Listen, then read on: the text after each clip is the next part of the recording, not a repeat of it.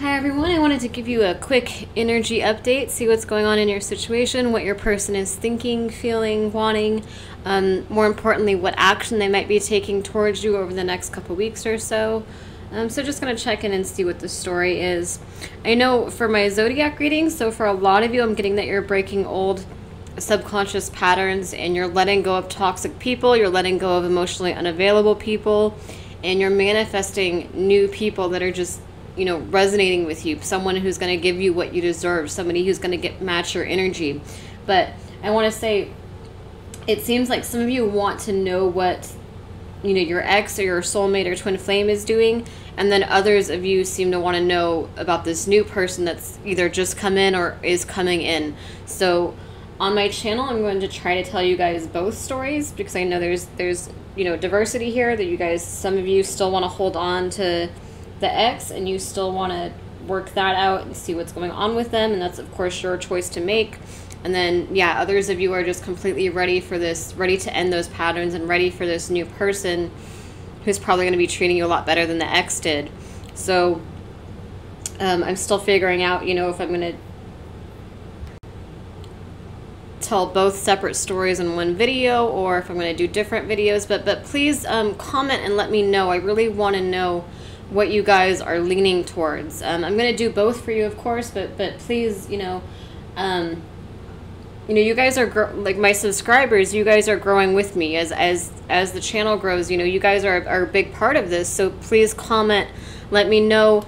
Do you guys mostly want to know about the new person, or do you mostly want to know about the the ex or the person that you've been holding on to? Like, let me know what you guys are feeling and what you're wanting that's going to help me produce you know better quality videos for you that are going to resonate with you.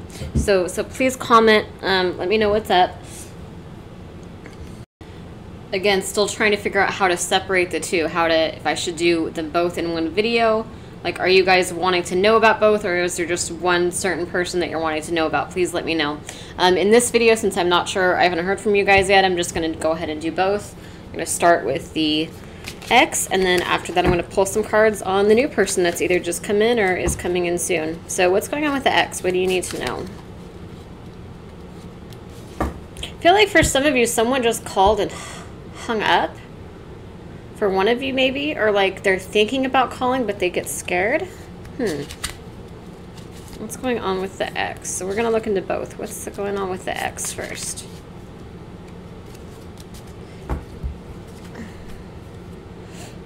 Codependency and addiction, sex and seduction, X in the past. Oh, come on.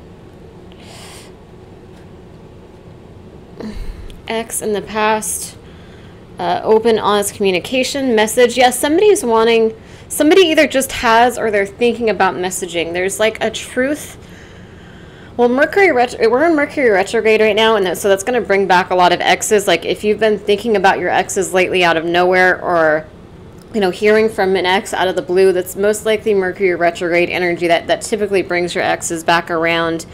And I feel like somebody is wanting somebody is wanting clarity with you. I feel like they said or did something and you misunderstood them or maybe they just weren't in their right frame of mind and they want to clear things up because I, I get the I get a strong energy of somebody really thinking about reaching out to you.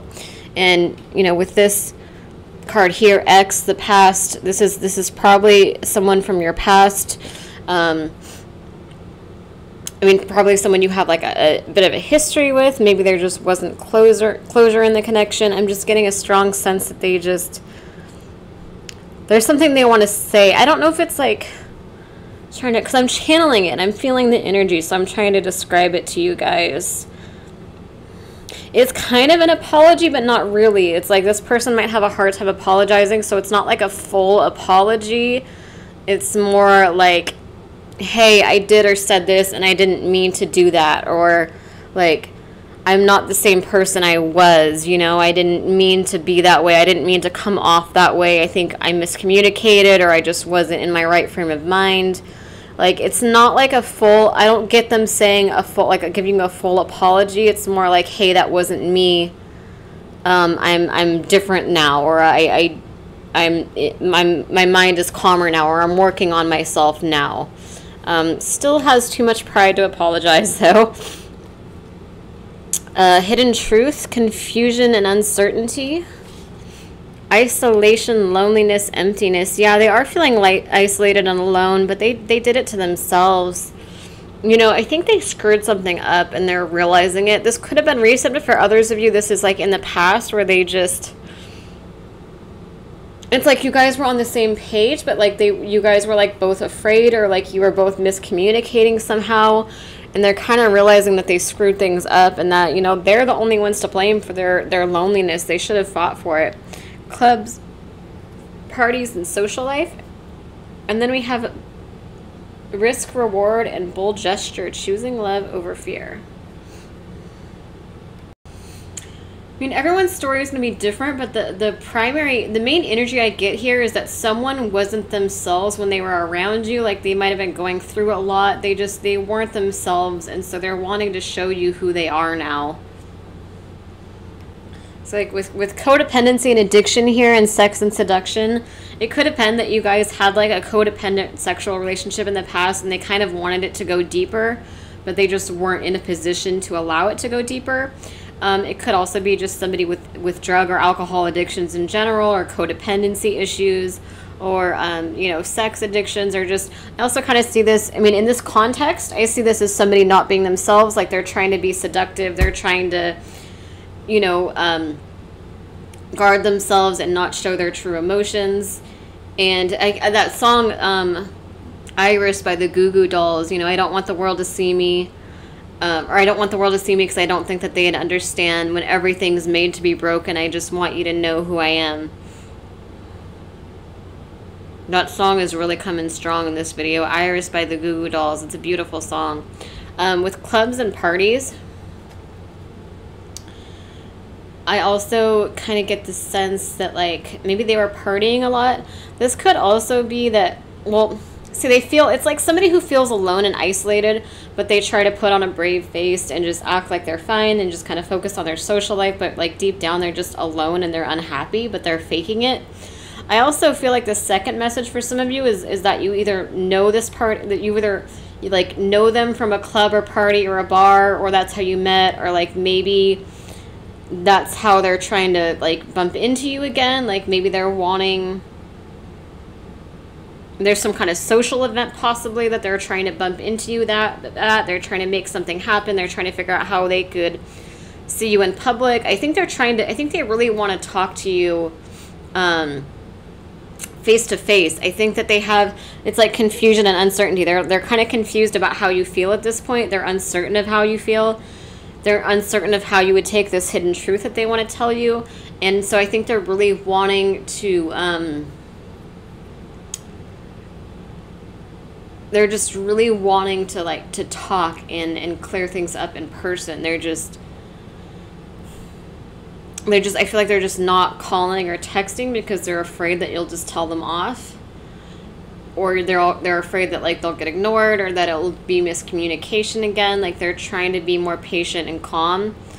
Um yeah they're wanting to be more vulnerable with you. They're wanting to come forward with open honest communication you know hidden truth. They're wanting to show you i think the hidden truth is is more about who they are as a person. Like they're wanting to show you that deeper level that they were too afraid to show you before or the things that they hid from you before. Like they're wanting just an open honest vulnerable relationship with you. And you have to decide if it's worth it because i do feel like this person messed up a lot and so you got to make a judgment call as to whether they're going to do that or not again. You know because in the energy they're planning on not doing that again but you never you know energy can change you know? Um, but yeah, and, and that hidden truth is just that you know they, they weren't themselves. They didn't mean to say or do that. They they they want to clear that up. They they don't want you to see them. They're afraid that you see them in a really negative light, and they they don't like that. Um, so there, there's a lot of fear there, and they yeah they do feel isolated and alone. They do feel empty. I think they have this awareness though that they did this to themselves. Like the confusion and uncertainty is because they they know they screwed up like they might not have known it at the time, but I think after a while and you guys not having the closure, I think they're kind of starting to get like they're the ones that screwed this up. Um, so again, where they're at right now is they are wanting to talk, they are wanting open, honest communication. they still have too much pride to apologize. So you're going to get kind of a half ass apology like, oh, yeah, maybe I shouldn't have said or done that. Maybe I was drunk. Maybe I was in a bad mood at the time. You know what I mean? It's like they're kind of hinting at an apology, but I don't see them coming straight out and saying, I'm sorry. um, but yeah, but yeah that, that's, that's where they're at. They're, they're wanting to talk. They're I feel like they might go to call or they might think about calling, but again, they're just they're really wanting it to be in person because they feel like maybe there's miscommunication through text or email or social media or maybe you know you guys would argue or something or maybe they would come off wrong especially being in mercury retrograde. So they're really wanting to talk in person somehow. They're just not sure how to do that. And they're they're hoping that there's some way they can bump into you again. It could be too that they're going out to bars and clubs and like maybe they're hoping maybe you guys went there together and they're nostalgic and thinking about those times or they're hoping that maybe sometime you'll just come back there and just it'll be the right timing but they are choosing love over fear. Like they are they are wanting to move forward with you. What else what else do we need to know about this connection? And then i'm going to pull cards on the new person after this. I'm just going to pull a few more cards on this one.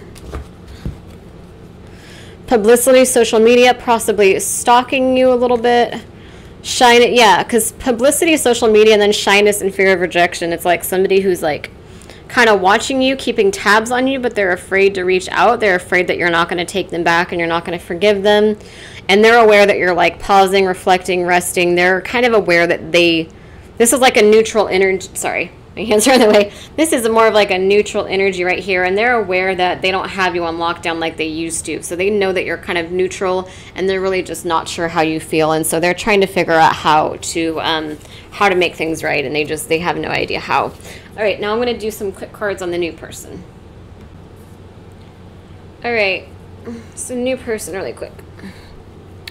What do you need to know about the new person? Where they? They've either just come in or they're coming in. They're in your energy field.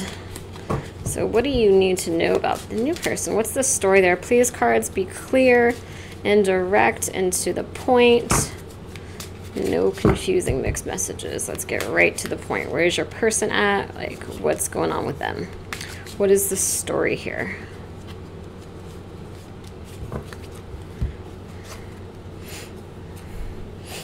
Mental instability, cold, guarded, distrusting.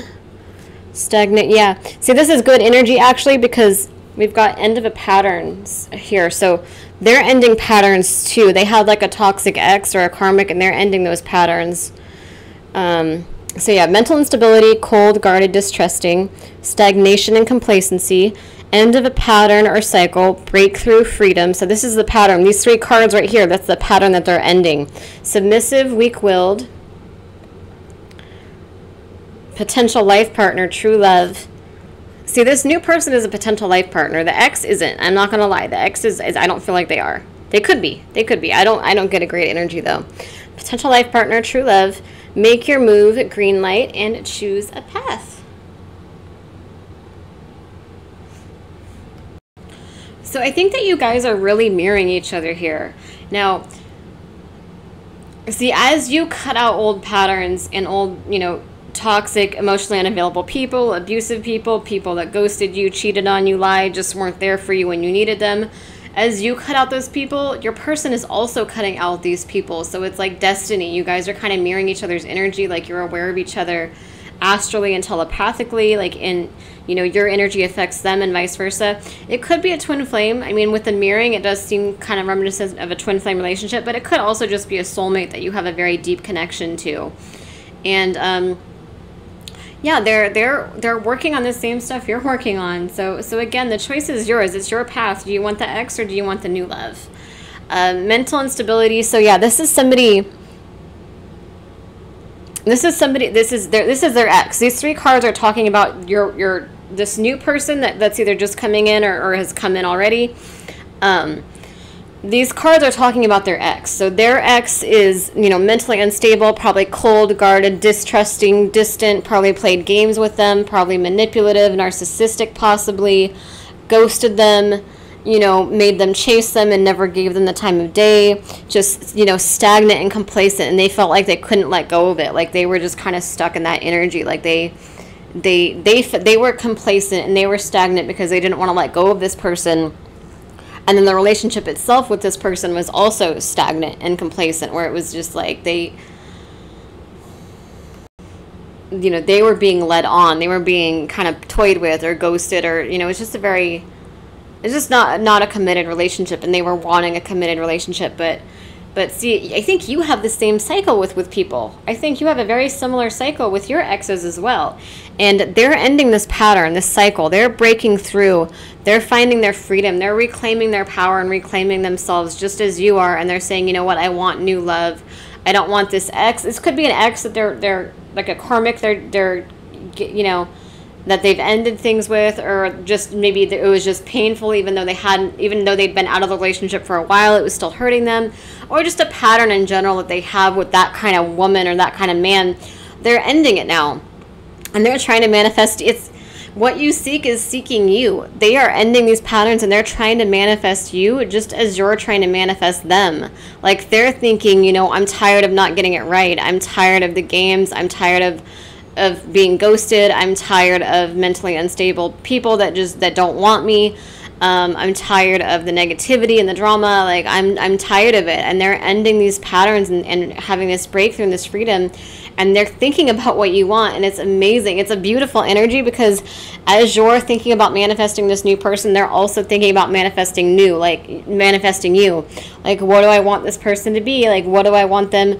You know, like you guys might get together and found, find that they like they you know painted a picture of you that looks just like you or they, they wrote some stuff down or something like manifesting what they want just something. I know you guys probably aren't even believing you're like yeah right. No but really like they're actually i don't know if they're spiritual or not. Like I, I can't tell but i feel like they are thinking about what they want in a relationship. They're thinking about those qualities and those qualities are who you are.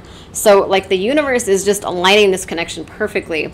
And I think in the past they've been kind of submissive and weak willed, like kind of just naive and they got ghosted, they got abused, they kept putting all their energy into these connections that went nowhere. And so they're kind of making a vow to themselves too that they're not going to be submissive and weak willed again, that they're not going to just give their all to a relationship that's not going anywhere. I think it's also saying that they're going to be submissive with you. Like, this kind of sexy if you think about it. It's kind of a sexual energy here in this context. Like they're going to be submissive to how they feel for you, whereas in the past, you know, your exes kind of just fought their feelings, they ran from their feelings. Whereas this person is going to believe in love the way that you believe in love. You know, your, your energy is just going to resonate with each other. Um, and this is true love. This is a potential life partner. This energy makes me emotional, like for you guys. Like, it's just. I mean, I'm not going to lie. Like, I I know you guys don't want to hear it, but this energy is a hundred times better than the ex. But you love who you love. You know, you have to choose your path. You have to do what's right for you. I personally would not want the ex back. I would personally prefer this this new person. I would I would if I were you, I would cut that cut all the bolt cut all the patterns out, all the the emotionally unavailable people, the um the, the people that ghost, cheat, lie, just cut them all out. Cut those patterns out. Do cut and clear work. Um, you know, set boundaries, firm, strong boundaries, and stick to them above all else.